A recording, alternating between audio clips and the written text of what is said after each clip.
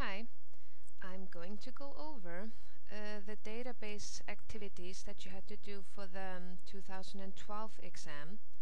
And in that case you had two tables, airport and customer. And just to take a look at the table and how it looks like, you open it like this in big and you can see that it's 29 records in total.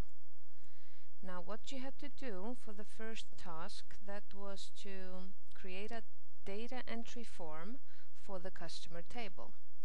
And it gives you what you must do which is have a suitable title be clear and easy to use include a drop-down list for at least one field. Now to make sure we have a drop-down list what we can do straight away is go to the design view we see that it has ID as a primary key, so it's unique to each customer, just like it says here. You got the title, initial, first name, last name, phone number, destination, and date. Now, this would be the perfect um, drop-down list, and to do it in an easy manner, we can use this text field or the data type field here. We select Lookup Wizard, and you can type in the values but then you must check what it had in the table first. So we go back to the view. Okay we'll save it. We didn't do much. Now what does it have here? Title. It's got Mr and Miss.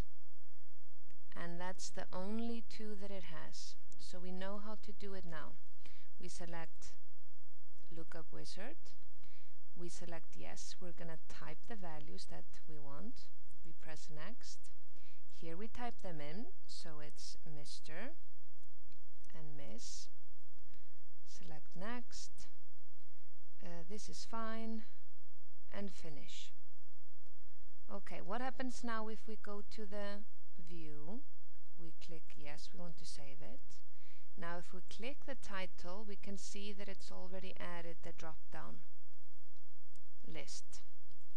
So now we can actually start doing our form because we have included a drop-down list for at least one field. Now, to be able to create a form, we still always close what we have open. You see there are two X's here, but you choose the lower one. So you're going to close the window. Now you go to create, because here's where you create a form, and we're going to choose more forms because we want the form wizard because it's easier and quicker. Now we're supposed to do a table from the customer, so this is the correct one. Now instead of clicking one for each field, we're gonna choose this button here and everything goes over. We press next and it's good to just have the default layout.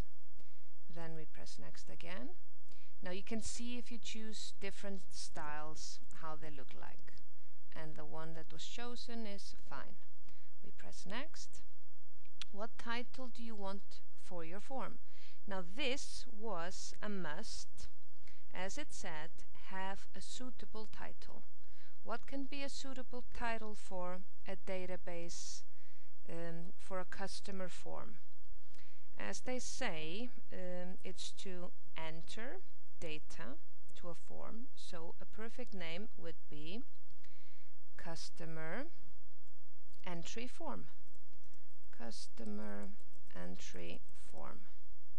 And open the form to view or enter. No we're gonna modify the form's design.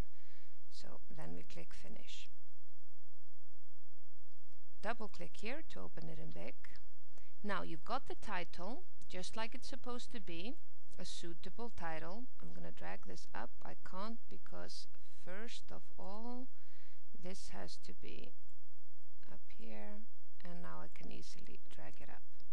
Okay then it tells you that everything has to be clear and easy to use. Now when you have a form you don't want these shortenings of the words so you're gonna create and have it all in capital letters. So I put on caps lock last name space. Dest would be destination and what more? F name would be first space name. Okay here you can see that it's got too much space between. So what I can do is hold control, no, sorry, I hold shift and then I can select all the fields at so they're all selected. Now what I do is I drag this closer to the titles and this I don't change because this is coming from the table itself, the information, and we're not going to change anything there. I can drag this a little bit down and as we're not asked for a form footer, I'm just going to get rid of it again like this. And as we have good space here now, it tell it told you to have it easy to use. Now what they mean is to add buttons that can help you create another record, delete a record, and go to the next record. So an easy way to do that is just to drag that button, drag here to format on the field, and let me see what be the best one to start with. Add a new record. Because it's a form, you're going to enter new customer, so it would be good to have that button first. Choose this one, next. I would like to just have the text like it comes up here. Select next. And it's always good to tell the name. I had it on caps lock. I'll take that off now. Add record. This is just a name for us to have if we're going to do something with this button later on. Okay, now I'm going to add a new one. I'm just to fill it in here. This could be a delete or go to next record. Let's go to next record first. So that would be this one. Next, have it as text, so it's all the same. And name it and finish. Okay, now we needed another one, or we need another one that could be delete record. So that would be not in navigation but operations, delete record, next, have the same text, next, and delete, could be a fine name, finish. Okay, now you've got all these buttons. Now I think the color is a little bit too light, so we go here to for color, and we can change it to text black. And then of course we'll do it for the same, do it the same for all of them. Click here, here, and text black. Now, as you can see, the form also, this the fields here are a little bit too big, so you can click and drag to select it, and also make it smaller. But we have to think about the names. Some names could be longer than others, so more or less like this. And then we can just click, go over to the corner to move it, and keep it in the same line. You can also select them like before by holding shift down at the same time and arrange. And here it's got some features like you can have it the same size to the shortest, probably to the widest in this case, and now they're all the same size, and then there are some features you can also use here to make it look perfect. Now the form is ready, and with all the criteria that was asked for, and then they ask us to display the form in data entry view. So we're going to go where? We go to home, we click on view, and this is how the person that enters the new customer record will see it. But to print screen it, I advise you to click this button here and then drag this so it fits exactly. Now what you did with these buttons, I mean you can do the same thing down here. You can go to the next record, you can go to the last record, and we could have created a button here for that. But as they ask for a simple form or easy to use, then always think about adding these buttons here. Now you can see that this works perfectly. Let's say that we're going to delete this record. It tells me first, so I'm going to say no. Uh, we can add a record, then it clears everything, clears, clears the form.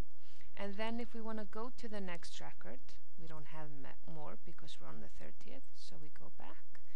If we go to the first one, we use next record, goes to the second, third. So everything is done and now you would press the print screen on the keyboard and that would be it for the first task.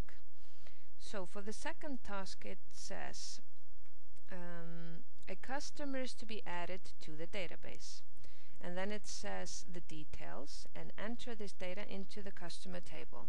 So now since you've already done the form close it, yes save it and remember you do then FRM and then write customer, that would be a good name for it, just to keep it in case the print screen didn't work. Okay, so I'm not going to save this at this stage, but if you're going to enter information to the table, the best thing to do is press this button here, new blank record, you go to the first field and you start entering as they ask you to. Just type in have cap locks on because you can see that it's in capital letters and carry typing. Then the next task was to sort the customer table in ascending order of date. That's easy. We go to the customer table, which we are in already, and we want the date, so we select the column. We select here ascending order, and that's it. Now you have to print screen this, so as it is now, you could move this by clicking this button. Now you just press print screen and make sure when you print screen that you can see the amount of records in your table.